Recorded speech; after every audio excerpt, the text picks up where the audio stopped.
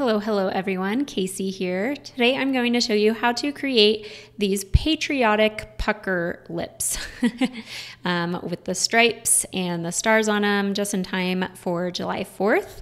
Um, the puckering lips has been a pretty um, popular trending uh, SVG design that I've been seeing. So I wanted to show you how to add kind of a fun effect to it and make it a little bit patriotic.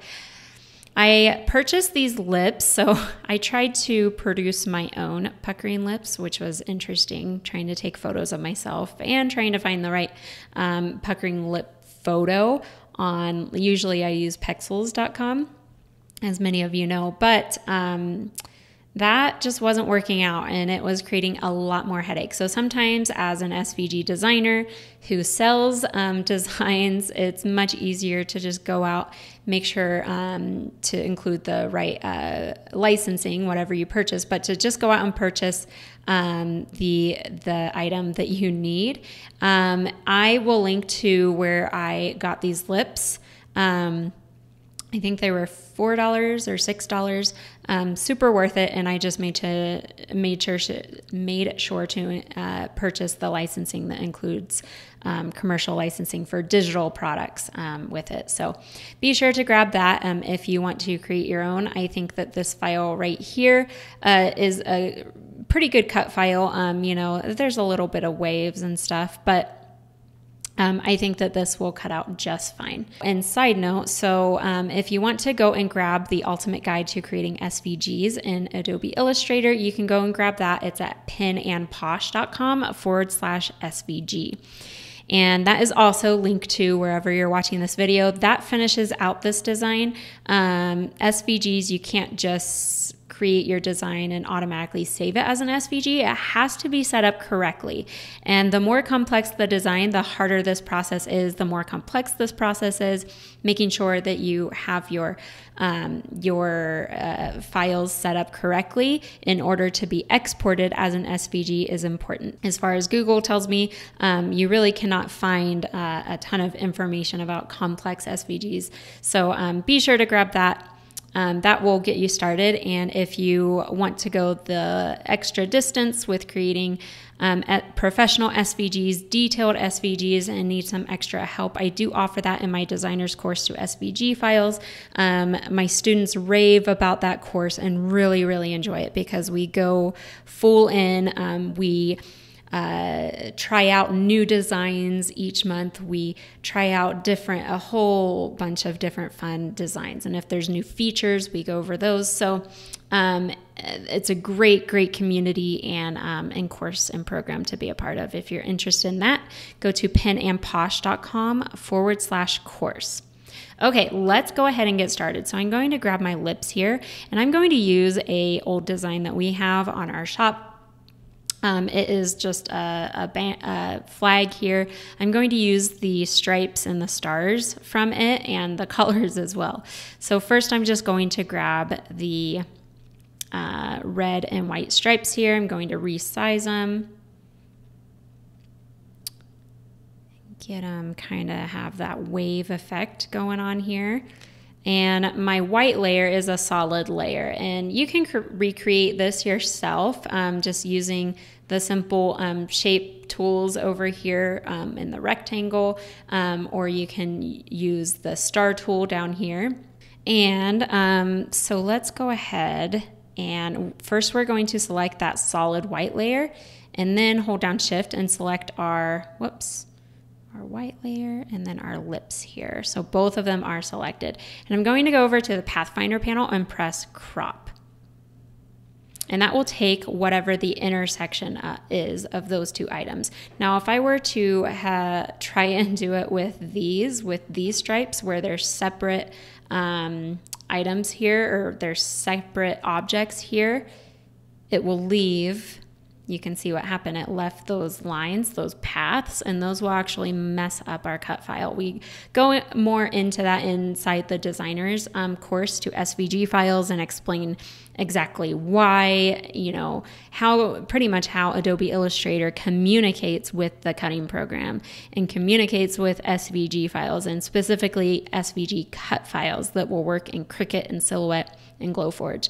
Um, it's important to understand that when you're um, becoming an SVG designer. Okay, so let's go ahead and um, let's make sure that this is a group and everything's united.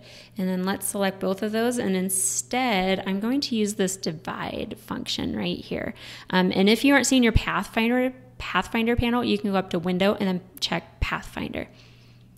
All right, and you can see it doesn't look like anything has changed, but if I click off and then click, um, actually press A for the direct selection tool, you can see it actually cut out um, each part of the lip from these stripes. So now I'm just going to click and rubber band select some of these. Um, and again, this is using the white arrow, so the direct selection tool. And I'm just going to press delete and delete again until those ones are gone. Going to do the same on this side, delete, delete. And then we need to zoom in, whoops, and do the same on the inside here. And some of these might be kind of hard to see, but I'm going to click right in the middle of where I think that path is and delete.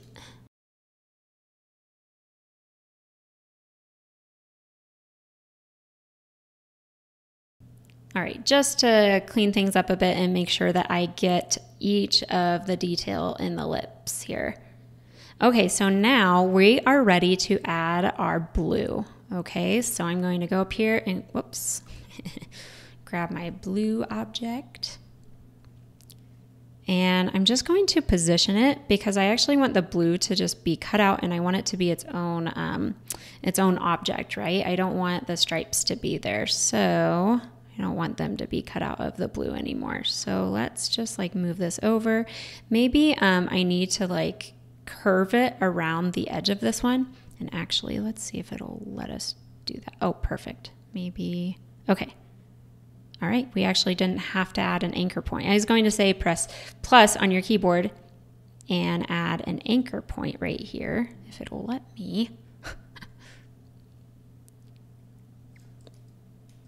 Oh, I got rid of my path there. Okay, um, so he's going to say press plus on your keyboard and add an anchor point right here, and then press A, and you can move that anchor point around. We just want to make sure that this side of the upper lip is um, is completely covered up because we're going to cut out um, the lip from this object here. So Let's go ahead and do this. So we're going to select um, everything once more. And then this time we're going to use the divide tool and do that same thing. So click off and now we can just delete that away. And then once more, go into here. Okay, and if there's any other lines left over, we can get rid of those. Okay. All right, that's looking pretty good. I think there might be a couple, let's see, in here.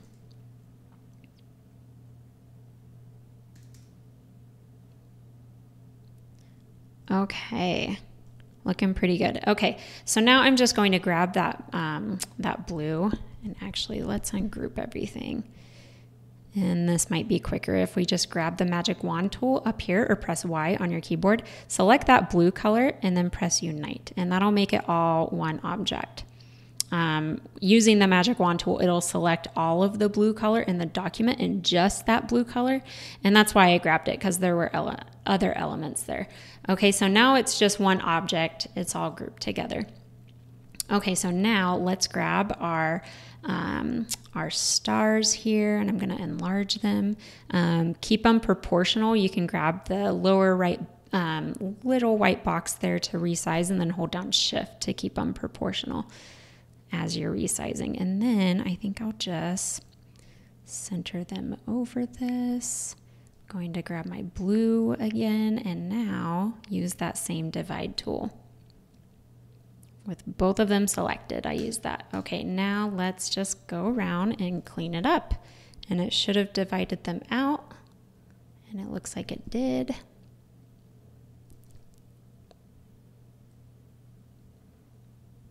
Now we just need to go clean it up. All right, that looks pretty good. I think I would even um, make this little white piece of that star there and unite it with the blue. But I just lost my blue color. So I'm gonna use the eyedropper tool and change it back to blue. All right. So there we have it. There is our patriotic pucker. I think that's what I'll name this um, tutorial a patriotic pucker. Um, if you uh, want to finish this out, again, you can go to penandposh.com forward slash SVG, or if you want to go to that free masterclass and learn um, about becoming an SVG designer, um, how I replaced my income within uh, six months. Um, I replaced my income from selling SVG designs online, and now I teach others how to become an SVG designer. So you can go to that free masterclass, the top insider tips and common mistakes made by SVG designers today, and that is once again at penandposh.com forward slash course. All right, I'll see you guys next time. Bye.